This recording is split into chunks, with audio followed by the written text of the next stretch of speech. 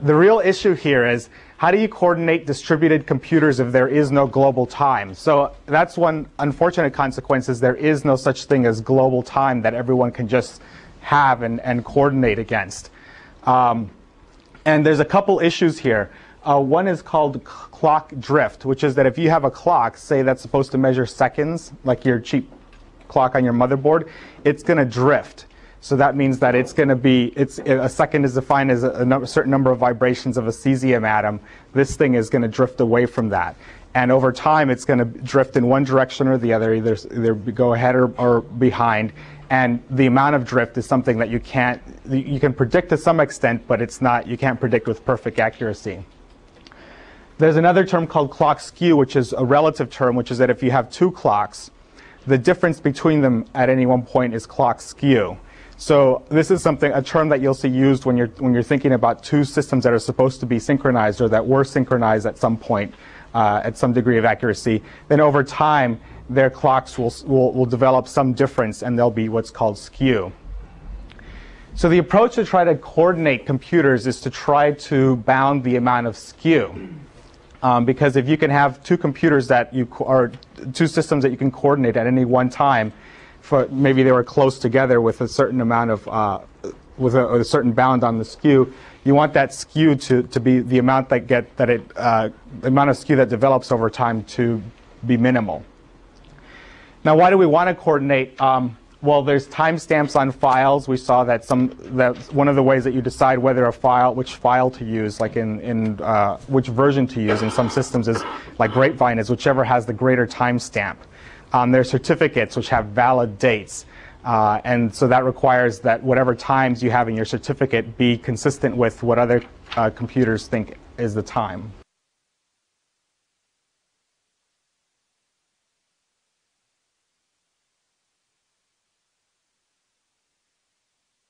A couple ways um, to synchronize two systems.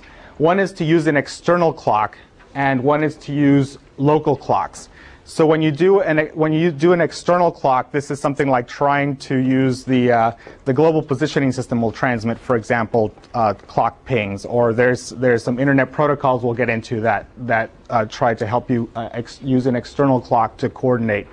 Um, you can also just do internal, which is to use your local clocks. If you just want to uh, synchronize with someone else and you're not really you don't really care too much about whether other people outside you are synchronized, you can just try to do that with the other person directly.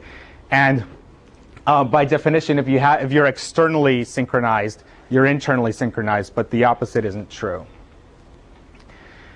So one way to, that you can, so let's take just the simplest approach to synchronize two systems is you send a message over, and it has a timestamp in it. Let's say the message says T, um, and let's say the sender and the, and the receiver um, now let's assume that the, that the round trip time here is something that they know in this case. So then what the receiver can do is say, well, once I get this, I'll just set my time to whatever t is plus the round um, plus the round trip delay time over two. Right, so this is some this is one this is the, the very simplest way to do it. Um, you can even there you can get a little bit more sophisticated if you think there's some minimum processing time for this. You can add that in. And uh, and so you know you can you can go back and forth here and do this many times and and and try to figure out this RT to to the best degree you can. Now in a in an isochronous system, this becomes a little bit more simple because you, as you remember, this is all this channel here is time division multiplex. There's a uh, some kind of a guarantee about when things will arrive. Um, but in an asynchronous system, uh, like the internet, where the mess where it's best efforts, this round trip delay time can change. There's congestion along the way. There's a bunch of issues that we saw. So this uh, this type of, of synchronization ends up being uh, there's there's algorithms that you can do to try to do this, but it ends up being more useful as you get more locality and as the round trip times become more predictable.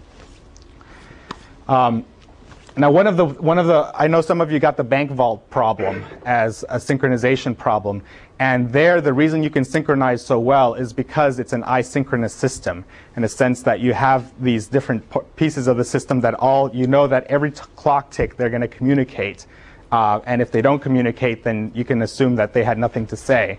Um, whereas if it had been an asynchronous or an asynchronous type of communication between them, you wouldn't have been able to to uh, solve it that way.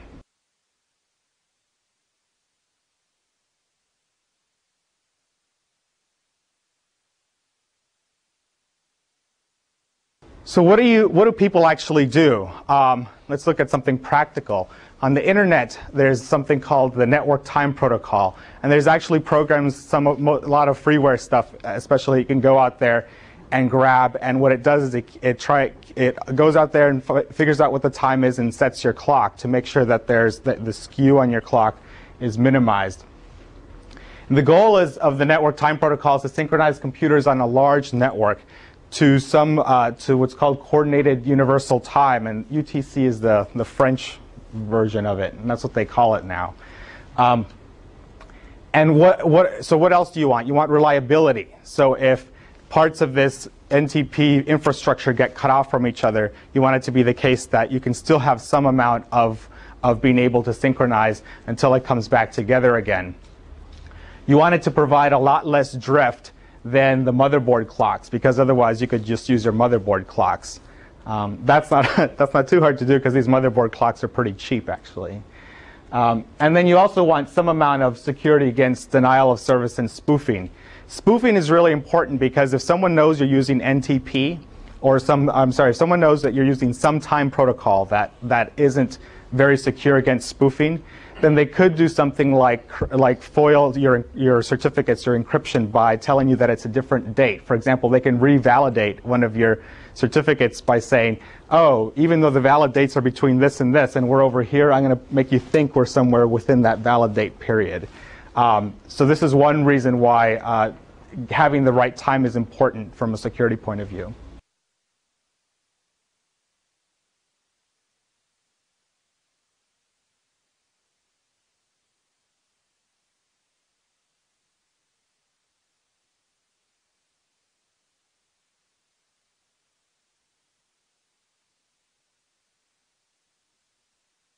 So the implementation of NTP is actually UDP based. You don't need a lot of the TCP overhead. And it ends up being hierarchical. So what you have are tiers. You have primary servers. It's a lot, it's a lot like DNS in the, in the sense. And these go down all the way till you have your local workstations. And the idea here is that these primary servers are connected to some kind of real UTP, UTC time source. So this could be something like at the uh, at NIST uh, or, or somewhere where they ha you have a real atomic clock with you know the cesium and all of that good stuff that's coordinated. Uh, but this thing is typically something where the clock is either is directly attached or is part of that server itself. And what these guys do is that's how these synchronize is to these to these clocks and there's ways that we're assuming that there's ways that the, that universal that UTC is actually coordinated outside the infrastructure of, of the internet. Um, one of the ways that, by the way, that you can that you can coordinate is um, GPS will sends uh, pings, and you can use that to try to coordinate uh, as a way outside the internet. Um, then what happens is that wh who's ever lower in this hierarchy, these guys the next level layer down coordinates their time with these primary servers. And what you do is you keep doing that until you're down at the workstation level, and then you coordinate your time with one of those local, local guys. So because of the hierarchy here, the number of layers to the, to the actual clock is uh, uh, order log of the n of the total number of, of servers here. Um, and so let's dig a little bit deeper into this. So imagine that, that one of these guys gets disconnected. So this guy gets disconnected from here. Um, what you can do then is you can say, well, if I have some way of, of some connection to over here, let's say you get, you get disconnected from this whole layer here, this one does, then you can say, oh, well, I have these other guys in my same tier that I can try to synchronize with. So if I can't synchronize with someone that's better than me, i.e. higher in the hierarchy, I'm going to try to synchronize with those people who are synchronizing with them. And as that happens, then in essence, this guy becomes one of the nodes that's a layer down here. Uh, so by when something gets cut off, in essence, what happens is its position in the hierarchy shifts, and it shifts. It'll in this case, this this tree right here will shift down one layer. So this is one of the ways that you handle disconnections gracefully. Instead of this guy just giving up, he just says, "Well, I'm a little less accurate." Uh, now, there's three ways that you can do this uh, synchronization uh, when you're when you're doing two of these together. Um, one is called one is multicast, which typically works best on high-speed LANs. So if one of these servers is on a LAN, it could multicast out or broadcast out its time every, on, on a regular basis, and these guys would all pick it up.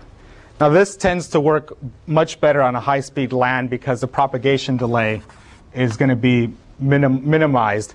And if you might actually know some properties, enough properties about this uh, LAN that you can adjust the clock depending on you know where you are, and, and you can probably have some a little bit better guarantees about um, getting packets to you. There's uh, another one that's a procedure call based, and this is something that, that you'll be reading about in the book. There's, there's several algorithms. There's one called, called Cristian's algorithm that's probabilistic.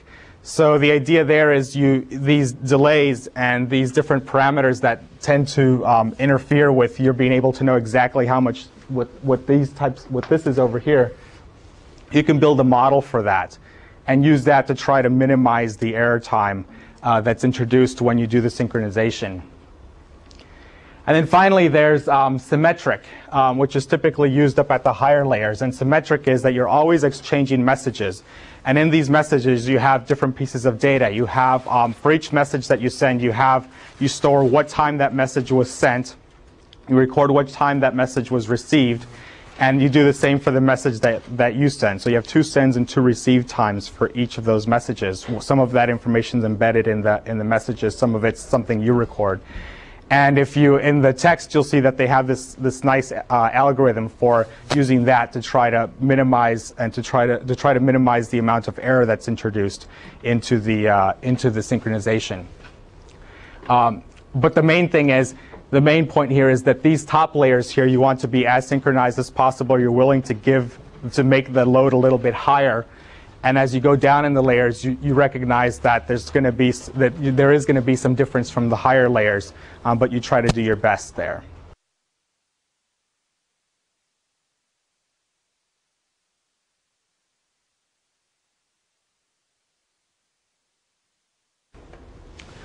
So one of the reasons that you'd actually the, that you need to, to worry about time is that there's there's certain functions that you want to carry out when you think about distributed systems, and one is a distributed mutual exclusion. Now, did you guys talk about mutual exclusion in your in any of the previous courses? Nothing. Okay. So mutual exclusion, when you share a resource, there's pieces, there's there's so let's take a disk drive as an example. When you share a resource, there are typically uh, what are called critical sections. And these can be they, they can be code that you that you should only really have one process at a time or one person at a time running through that whole code, any piece of that code before someone else does.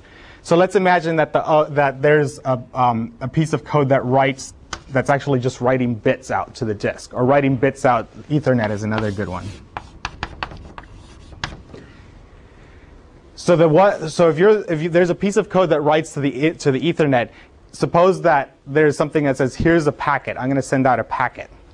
You actually would prefer that only one person be sending out putting bits on that Ethernet when it's sending out a packet at a time. And the reason is if you have two processes and one of them starts writing out a packet and then some, some kind of context switch happens and then the other one starts writing out its packet, then you're going to have this jumbled mess on the line. So what you do is you say one packet at a time. So when you start writing a packet, you have to you finish writing the packet before someone else can start writing another packet. So what that means that th is that these processes have to be mutually have to have mutual mutually exclusive access to the code that writes to this Ethernet card. So anytime you have a shared resource, you'll have some of these mutual exclusion resources where there are certain things, certain operations that need to feel as if they're they're ones that you can only that, that you can only have one process working or using them at, at once at one time. And you use um, and the problem is that your code can be lots of instructions long. So what you do is you, is you use what's called mutual exclusion and you implement that in a variety of ways to try to make sure only one person's accessing.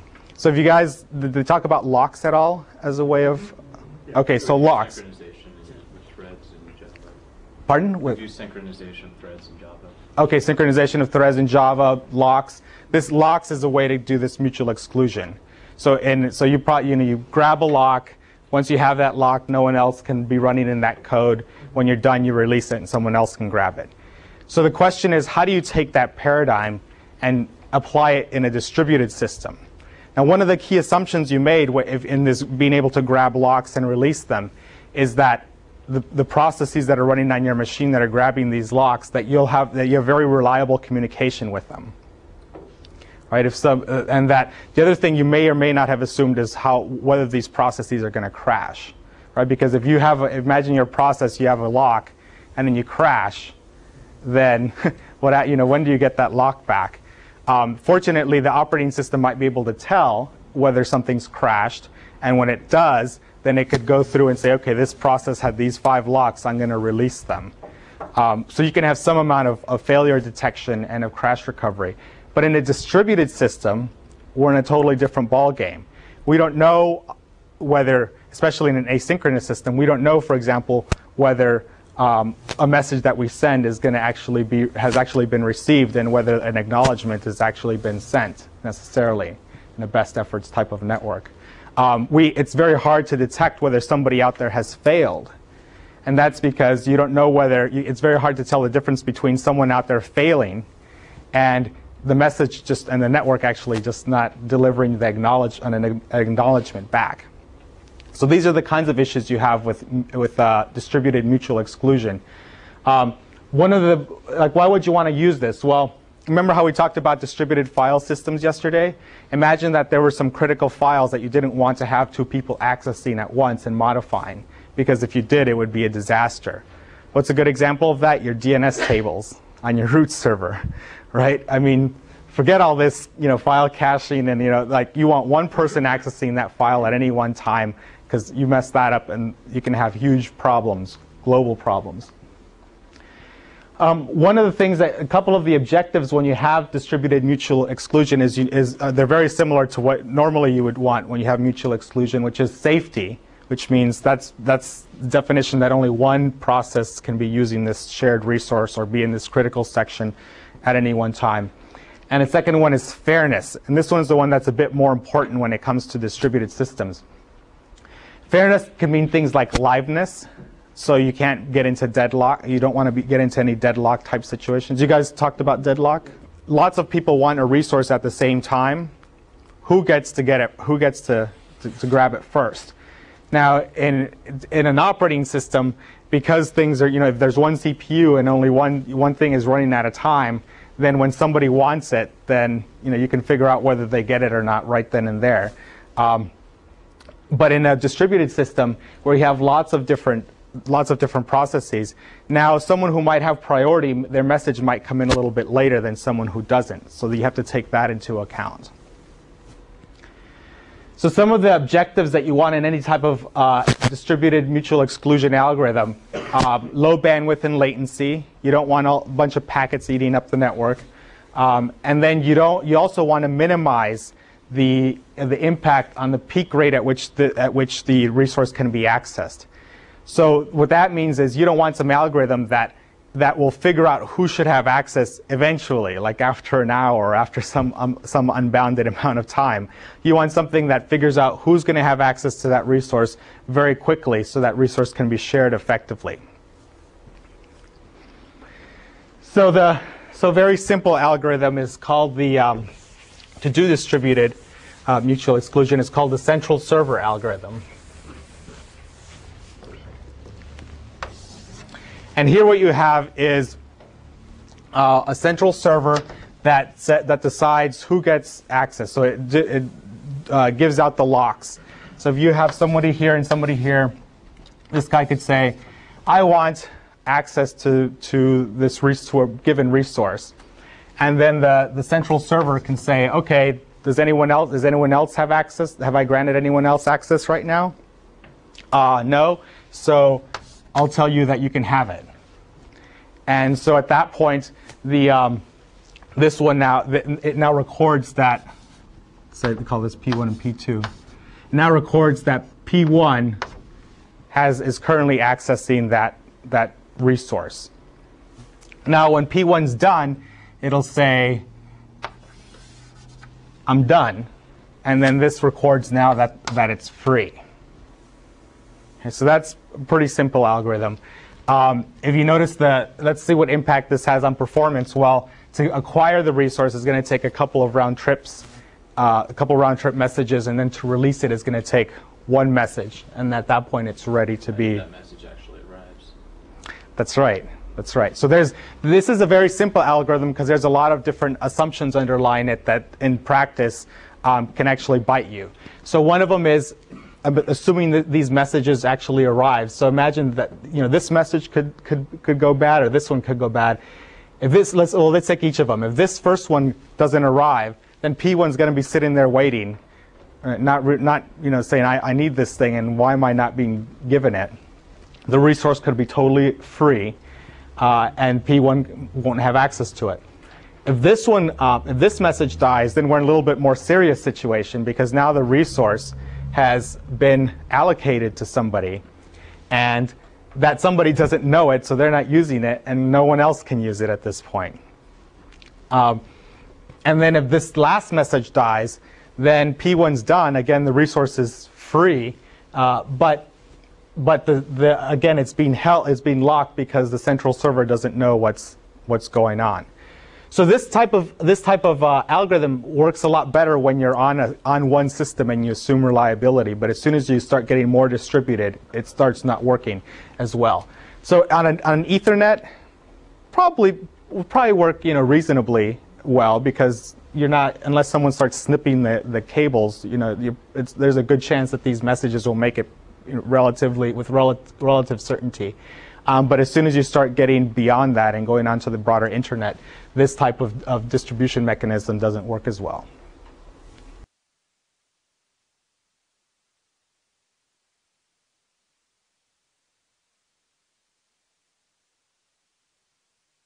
There are other, lots of other algorithms for doing distributed mutual exclusion, as you can imagine. Um, there's several in the, in the book, in the text. One of them actually uses um, multicasting clocks. And what this one does is that you have, you have these messages which are based on, um, which you can, for each process. So imagine that there's a set of processes P1, P2, P3, so on. And they all want to gain access to some resource. Well, what you do is you say, the algorithm goes, I'll tell everyone that I want to have access to this resource. And what I'll do is I won't grab that resource until everyone's told me that it's okay to grab that resource. So if I do that, then well, one of the things you get out of it is you know that no one else is in the critical section, that no one else is using it, so you know there's some, that you get safety out of this. Then one question is, how do you manage the case when two of these are asking for a resource at the same time? So let's say, let's say I ask, so let's say, let's say there, let's say P1 asks P2 and P2 says okay. This, this one says, P1 asks P5, P5 says okay. Then P3 asks P4, and then P4 says okay to P3, right? What happens when P1 asks P3? Or, I'm sorry, P4. Let's do that one first. P4 has already said okay to P3. So how do you resolve situations like that? Well, the way you do it is you set, you have an ordering criteria so that any one of these messages that goes out, there's a complete order between them. So you'll you have you know a complete means that for any two of these there's a greater than or less than relationship that you can discover. So what you do is what P4 will do is it'll say, well I'm I've already told someone else okay. But if that message that comes in over here has greater I'll call it priority or greater order than than the one I got before, I'll tell this guy okay. So the reason that this will actually work, that he's already told two people okay, is that when P1 goes to ask P3, P3 will say, oh, someone else wants this. Okay, and that person has greater priority, so I'll give them the, you know, I'll, I'll tell okay to them.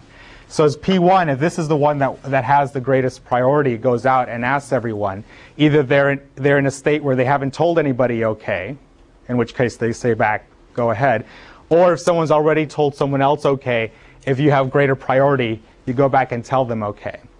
Now the reason P3 will never, that you'll never get the safety constraint is because if P3 asks P1, can I get this resource? Then P1 is going to say, well, I have greater priority than P3, so I'm not going to say okay. So there'll always be the one, the person who has the greater priority who's asking of the one or of the two or three or four will will always say no. Uh-huh. How do you ensure that the messages are totally ordered? That you never have two that are of equal priority? So there's a thing called a Lamport clock that they describe in the text. And what this thing does is, is it is it there's the one thing that you can do is um, look at the time. So you can try to use the timestamp as an ordering criteria. And then what you can say is, well, the timestamp uh, is the same, then I'll use something like the process ID as to, and so as long as the process IDs are have a complete order on them, then you can have a complete order. And the, the reason you want to use some kind of, of clock synchronization is because you want these timestamps to be relatively close to each other so you can have some notion of fairness. What you really, what you really prefer is not to have to use this because that requires you to have a complete order or a priority on these. What you'd rather use is just the timestamp. You'd rather, you prefer the first person who wants this to actually be able to get it. Okay. Um, and of course, once you've once you've released your once you've released your once you don't need to be in there anymore, um, then if someone else needs it, then you'll say, you know, go ahead. Now there's optimizations you can do here. So for example, suppose P1 asks for this and everyone else says okay, and then P1 is done using it. If P1 hasn't heard from anyone else, that they that that that someone else wants to use it, they can just start using it again, because if no one else because no one else is going to use that until they've at the very least have asked P1. So there's certain optimizations you can do to try to minimize the amount of these messages that go back and forth.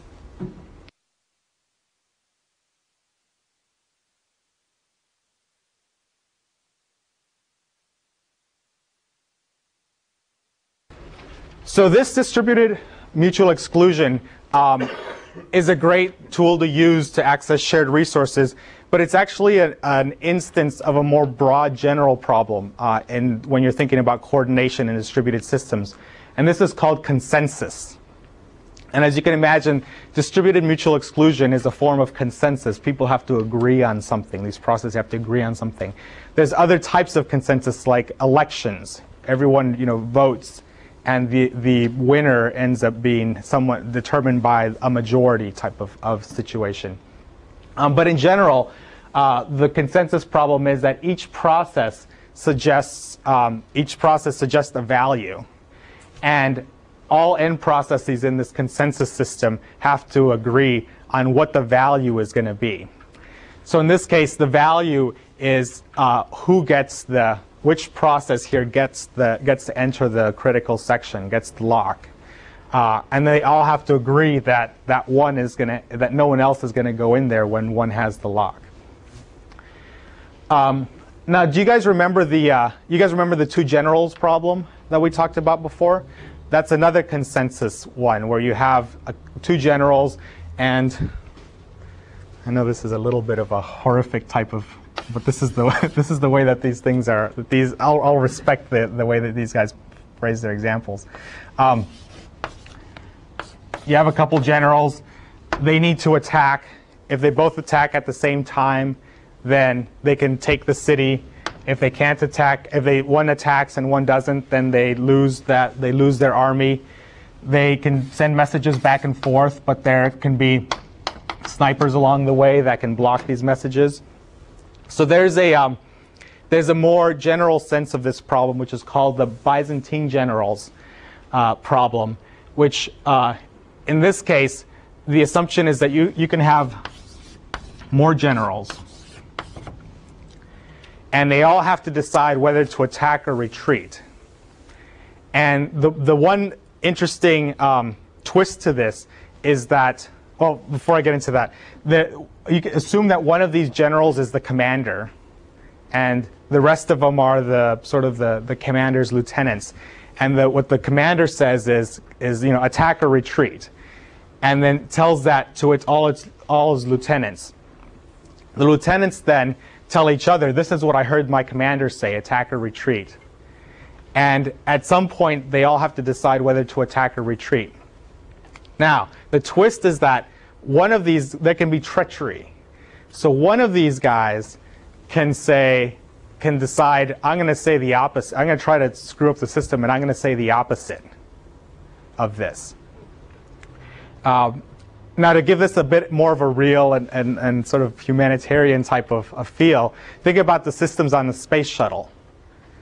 Right? Imagine that there's one system that, that says, okay, I, let's, you know, all systems are go, and tells that to all its subsystems.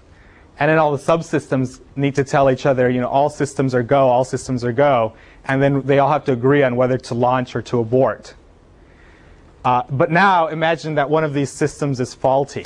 And in the worst case, you know, you can think of, think of it as the worst case would be sabotage, that someone tries to program it such that it gives the wrong answer. You still want it to be the case that the, the, the, whether, that it does the right thing, either it launches or it aborts. Um, so this, these types, this type of consensus problem is quite real.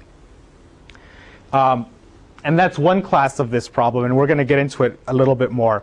Um, there's another one which is about, uh, there's another way to phrase consensus, which is interactive consistency.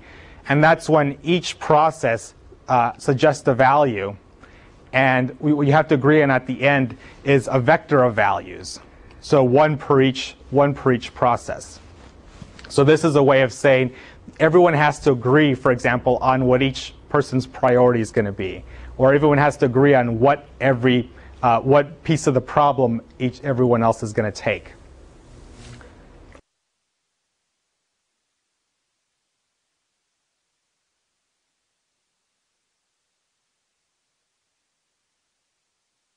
So I've started explaining this problem already.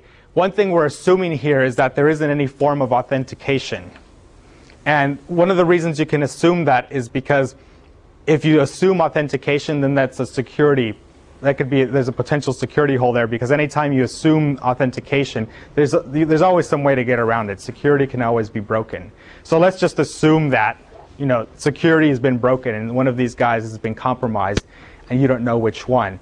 And that maps very well to the space shuttle problem because in the space shuttle problem, even if you're not thinking of it in terms of security, it's possible, for example, that a bug could be in, in the code. And so you want to be resilient against there being bugs that very well intentioned, had nothing to do with security, but still cause the, the exact wrong thing to happen. Else? Yes. You hear all the lieutenants talk to each other, and you hear from your commander, who says, who gives you know the, the command attack or retreat. So in the space shuttle, you know this could be mission command that tells the, the space shuttle subsystems, all of them, go. And now they all have to talk to each other and, and either and, and do the right thing.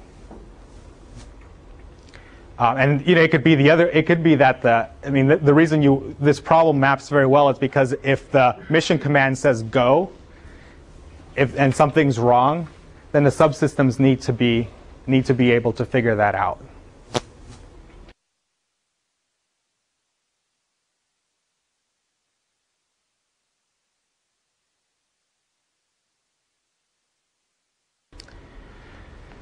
Um, so, so there's actually a lot of theory around this, as you can imagine. There's some interesting proofs, um, which if you like proofs, um, you know, it's great things to, to read in the book. If you don't like proofs, it's, it's good just to get the, distill out what, what it implies.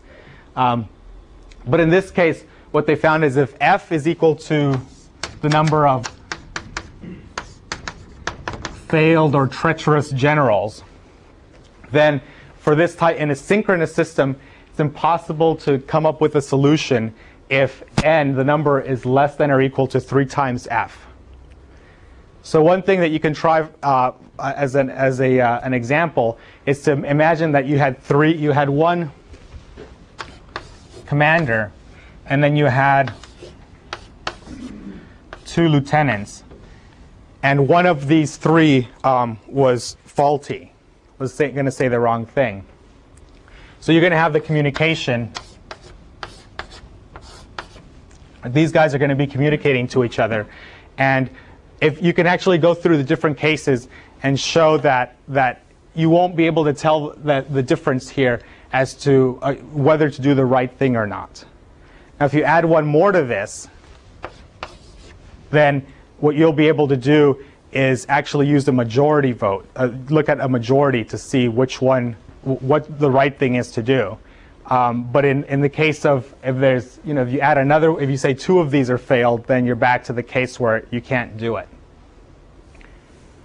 Um, now, the, one of the key, one of the other key outcomes here is that in, in, an asynchronous, and this is in a synchronous system. So let, let me just make sure that all the assumptions are clear here. In a synchronous system, when you say, when you say it's time to receive a message and you don't get the message, you assume that that's, that was something that either that system failed or that it's something that was meant to be. But there is supposed to be, a, the messages are supposed to arrive at given points in time. That's different than an asynchronous system where you don't know, where you don't know how long a message is going to take to get to you. So the reason that you can't, that this is, that this solving this problem is theoretically impossible in an, in an asynchronous system is that there's no way to tell the difference between slowness or, or, or something like failure. And the best example of that is the two generals problem. So the, just to review that, in the two generals problem, you're sending a message over saying, you know, we're going to attack at dawn. And, and then you're expecting to receive back a message that says, okay, I heard that, I, you know, I heard that you, that you can attack at dawn. That's, that's great. Let's do that. And if in an asynchronous system, one, I mean, if you have these, in, in, other words, if you have these snipers, which means that some of these messages could fail, if uh, this if this message is never if this message gets intercepted, then you'll never get this message back. Okay, that's fine. But say this message is not intercepted,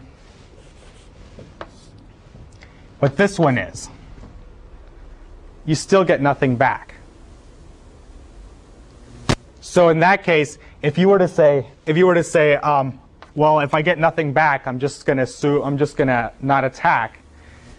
Well, in this case here, this general thinks it's supposed to attack out, but this one doesn't.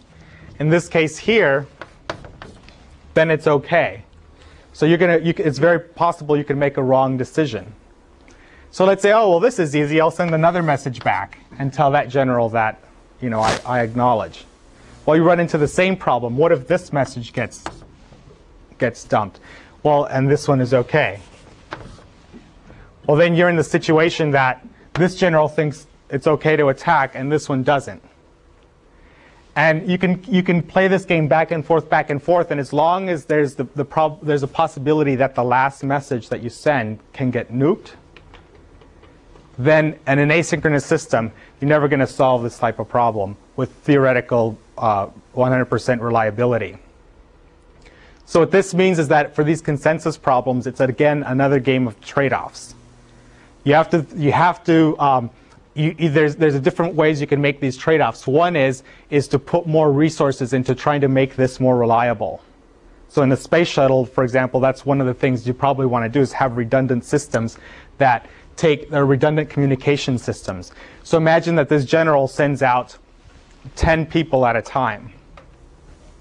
Right? Now the chance, and suppose that the chance of any one of them getting nailed is, is uh, one half. Right? If you send 10 people out at a time, what's the chance that all of them are going to get nailed?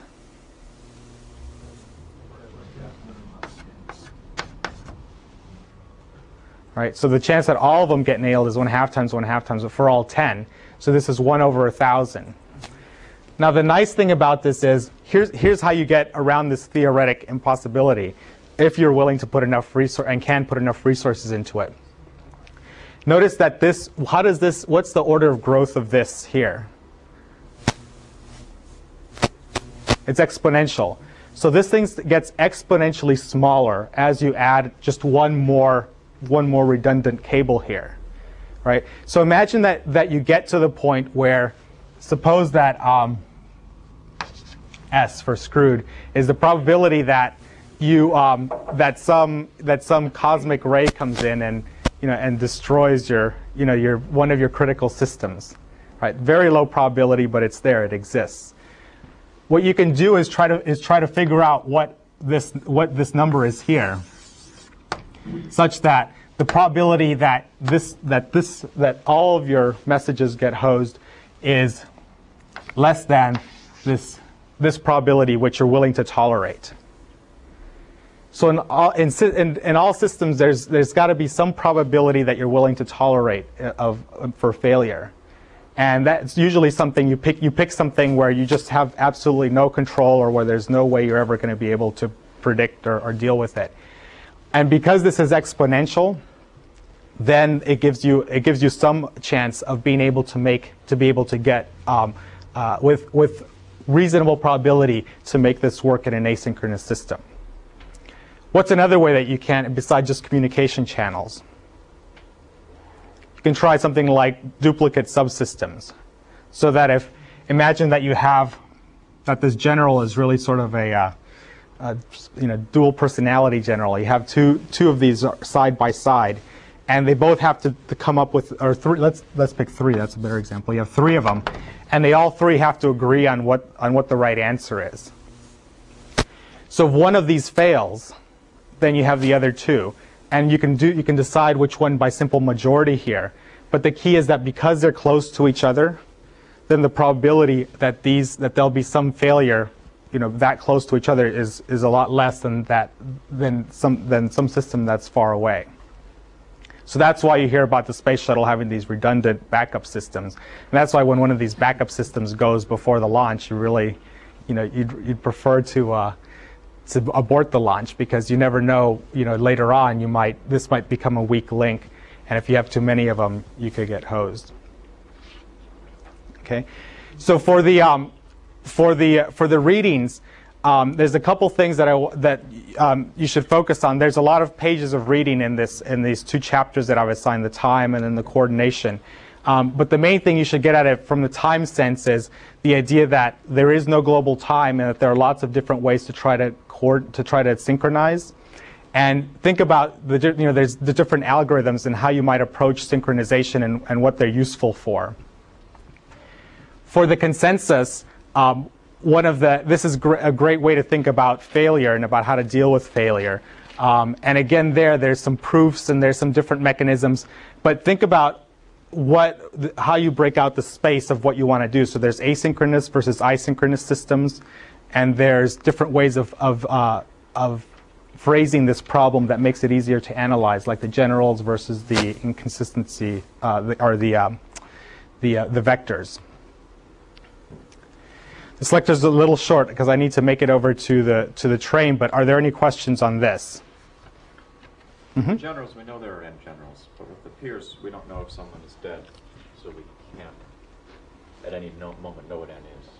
That's right, and in fact, that's the question. One of the that's the question on the uh, for the writing assignment is around failure detection, because I mean, in this case, you know, for each of there's about three different algorithms that they that they talk about in the book. But you can imagine, you know, what happens to each of these if there's a failure. Right? Then this thing starts looking a little bit more, this just this distributed mutual exclusion starts looking a little bit more like this consensus. So that's why that's why consensus is an important thing to study because this, you know, if you think about distributed mutual exclusion, once you start thinking about failures, it becomes the, the flavor changes dramatically to something like this. And actually, some of these algorithms react very well. If you can detect a failure, it's very easy. And some of them actually are just are, you know, have completely bad behavior if there's a, if, you, if there's a failure that you can't detect. Um, if you can detect a flavor, you get a, a different set of, of, of, reaction, a different set of, of results from using these different mutual exclu- distributed mutual exclusion algorithms. So that's one of the key. Th- I mean, in a real system, there's a poss- possibility for failure. So that's why I asked you to, to look at these algorithms and how they wh- how they react to failures. Who, what part of the system is arbitrating this consensus? Because I'm, I'm thinking of you know several Mhm. processes that are running on, a, on an individual computer, and generally, you know, the abstraction barriers of the operating system is what's sort of like you know, kind of arbitrating which processes get resources at what time, Mhm. and that the processes themselves, we don't want them to have to be concerned with the existence of other processes because we want to keep things simple. So, Mhm. so if we have something like consensus where the processes are sort of communicating to each other, Mhm. what, what does that mean? Is there like an intermediate layer? I mean, It's typically in a distributed mutual exclusion. It's typically a, a layer or a protocol that you develop, and they all they do have to agree on it. Um, so something like a um, like a token ring architecture, which is uh, it's unlike Ethernet in the sense that if you have a token, that means you can use this resource and you can use it without worrying about anyone else using it. So the idea there is to use it more effectively. But if you have a token ring type type of architecture, and you try to put an Ethernet card on that same cable, because they're different protocols, they're, it's not going to work too well. So these types of these, one of the assumptions you have to make is that what the processes involved, wherever they might be, all agree on the algorithm they're going to use. If they don't, then you can have, then all of a sudden safety might be violated. Another thing that might be violated is fairness. So that's that's that's in some systems fairness is very important. If you have priority over somebody else, here's how it's that's defined, and you have to you have to give up, like in this in this case here. so if you're, if you're building one of these processes, you know, developing the application, then you need to know what protocol is going to be used underneath for Yeah. And here's here's where you get um, here's where you have to uh, be a little bit careful, which is that if you um, some of these, depending on the type of algorithm that's being used or protocol, you may have different f- types of errors that come back. Right. So in, so, in one of these algorithms, like uh, that, that we talked about and that you see in the book also, um, fail, you can have a timeout because something goes down and it fails and then there might be a timeout. So you have to have a way of dealing with that. And you, if you build that into the layer, then the, applic- then, and the application you know, doesn't handle that, then the layer might do the wrong thing or do something that costs too much so that and if, but so a lot of times you want to build that into the application, so the application knows if there's a failure in this, here's how I'm going to handle it. I'll tell the user, or I'll turn myself off, or do something like that. Um, but it's again, it's the end-to-end argument. Um, but there, you can also, and the reason I say that is because you can imagine there being a distribute. Imagine that there's a layer that's just a generic interface, distributed mutual exclusion. You know, grab lock, release lock, right, or something, something that simple. Um, that's great from an abstraction point of view, but from a very practical point of view, it's some, it's probably not enough when you're when you're when the, the goal is to make sure that you have adequate access to some shared resource out there. Yes. Um, you've mentioned this in the context of um, different peers or, or different nodes trying to run a piece of code, which makes it sound as though they might be trying to run a piece of code on a central server. But presumably in systems like SETI, these systems would be used to allocate the collective um, memory and even processor resources that are available from each node. Yeah, I don't know. I don't know the about. I haven't read about the um, SETI architecture, but you can imagine that there might be. Imagine there are a few servers, a few SETI servers. There's there's probably ways that you can pre-allocate blocks of, of computation to each of them, so that even if they get cut off, that they can that they can send the the right stuff the right stuff out. So because you can pre-allocate, I'm not so sure that you would they would need to to, to be mutually exclusive over the, the body of, of code that, that or the body of, of data that needs to be allocated out to the clients. Um, so I, don't. I'm not. Maybe maybe there there is something there, but the the main. Let me come up with a different example of what you things things that you'd want to share. Um, so file access is, is one. So having being able to access some file on a distributed server somewhere. uh, is one. Um, another one is uh, access to a bank account. So imagine that somebody that there's uh, your bank account is out, your, the numbers are out there somewhere, and there's a couple of you know ATMs and there's some clearing you know direct deposits that are going through, and all this stuff could be happening at the same time. You want to be able to have, if that's a distributed resource, you want to be able to have uh, exclusive access to it, so that every every uh, transaction gets done independently. Um, so, uh, so that's so that kind of data. It's usually data in this case for distributed. It's there's, there's data out there that needs to be that needs to be uh, which can't be modified um, uh, by any when it, that when such that when it's modified, it has to be one process that's modifying it at a time. Um, there's real-time systems, I would guess.